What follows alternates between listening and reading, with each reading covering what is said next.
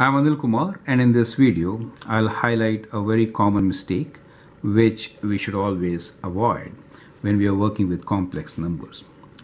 Uh, let us say we have to find product of uh, square root of uh, let us say minus 7 times square root of minus 7 right so at times you what you may do is you may just multiply these two numbers and say well this could be product of minus 7 times minus 7 within the square root.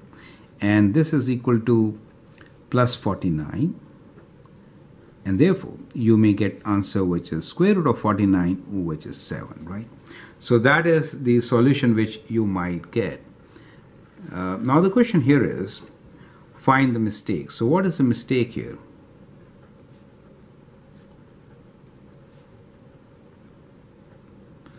So you need to point out the mistake in this particular solution, right? That's, that's a big question. Now here is the right or the correct solution. So let me write down the correct solution on the right side. Uh, the correct solution uh, is kind of like this. We are given square root of uh, minus 7 times square root of minus 7.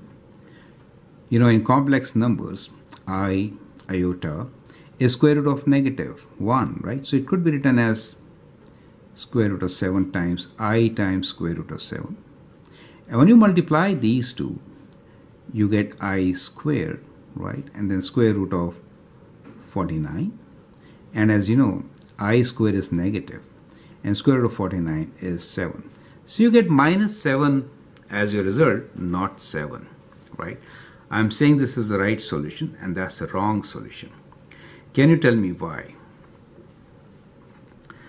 The reason is that from here when we moved and wrote square root of minus 7 times square root of minus 7 is this. Now that cannot be done. This is not possible. So this rule is only possible when the numbers within the radical the square root are positive. So this is the step which is incorrect. Right. So when you're working with square roots, in that case, you cannot multiply this and write like that. Okay. This is only possible if you're working in the set of real numbers, right? So you can move from this step to that that is product within the square root or the reverse when a and b so let me write down in general. So if I have minus square root of a times minus square root of b I cannot write this as square root of minus a times minus b or what we did in set of real numbers, right? So that step is not possible, right? So this is not equal to, correct? You cannot do this in the set of real numbers. So whenever you kind of do the operations on the radical, these numbers inside should be should be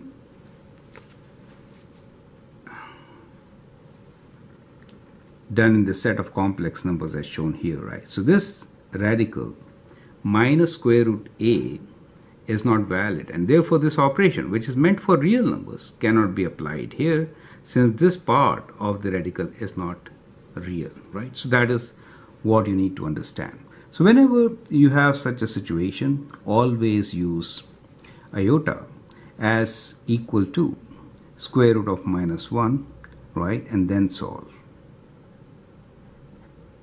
Correct so that is very important to understand. I'm Anil Kumar. I hope this point is very clear. Thank you and all the best.